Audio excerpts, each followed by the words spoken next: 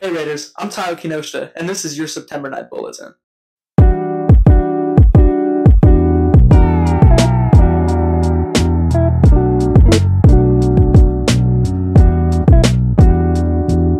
Hi Raiders! Club Rush is this week, Tuesday and Wednesday at lunch.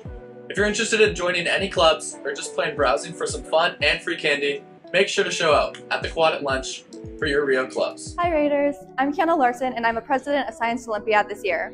If you're interested in any field of science, whether biology, the earth sciences, chemistry, physics, or engineering, you should come check our table out at Club Rush and attend the first meeting. Thank you. Hi Raiders, we're back for this week's sports. This week we have girls flag football Monday against Vista and again on Wednesday against Woodcreek at home. Girls volleyball plays on Monday at Vista del Lago and Wednesday at Rio against Wood Creek. Girls tennis also plays at Vista on Tuesday and then against Woodcreek on Thursday at home. And shout out to our water polo teams for beating Jesuit and St. Francis last week. This week they play Tuesday at Rio against Ponderosa and Wednesday again at Rio against Granite Bay. The Mirada, Rio student newspaper, has a website.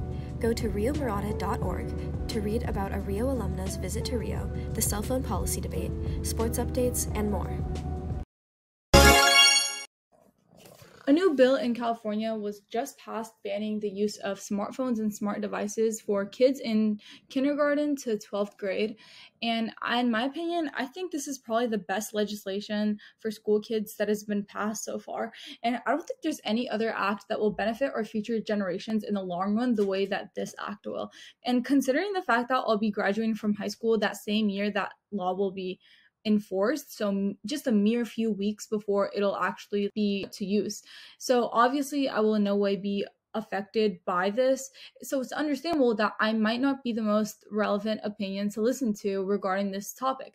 However i can't testify to being a victim of the extreme brain damage that i've experienced from so much unlimited use of my phone having full access to it in both school environments and at home but when I was in classrooms that didn't really permit using my phones, it was a different story. The more limited I was to using my phones in classrooms that had own cubbies or baskets, the harder I had to work to actually use my brain and actually develop critical thinking skills.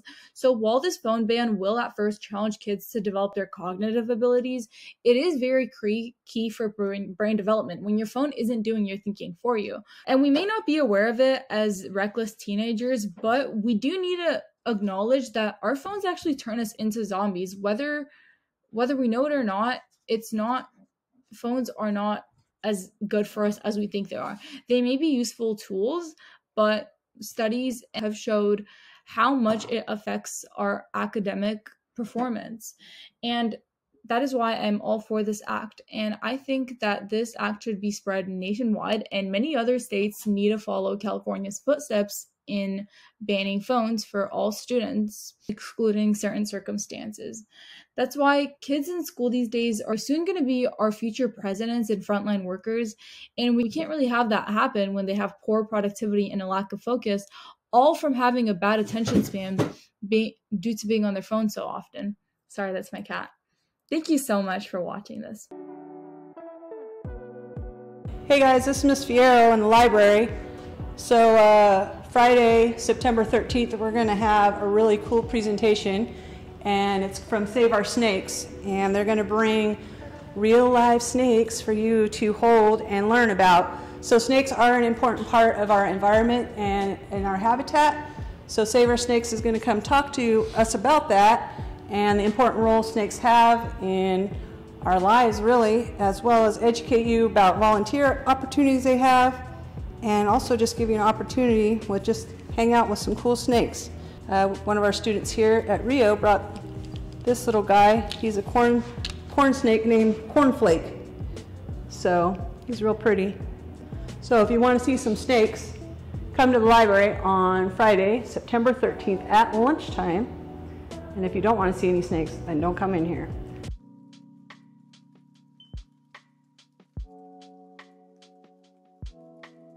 For me, I love taking pictures of football because I get to be with the team, I get to work with them. I'm under the lights on Fridays. It's just an amazing experience to be able to be on the field, and especially when I deliver the photos to the players, seeing them get so excited about the shots that I've taken is really what keeps me doing it.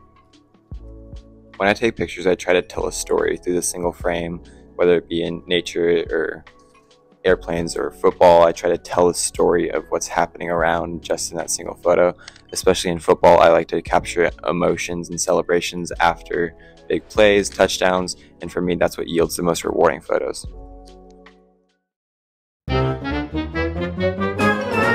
What do you call a sheep that can sing and dance? Lady Baba. That's all for this week, Raiders. That was your September bulletin, and have a great week this week.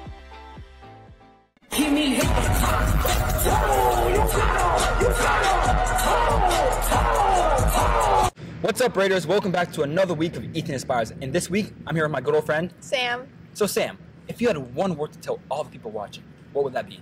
I would have to say, always put yourself first because you matter most. Yes, that is so true. You matter.